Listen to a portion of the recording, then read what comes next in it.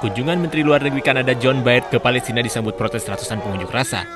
Mereka berkumpul di depan kantor Kementerian Luar Negeri Palestina di Ramallah, tepi barat, Ahad 18 Januari 2015. Pasukan keamanan bersenjata lengkap menjaga ketat demonstrasi.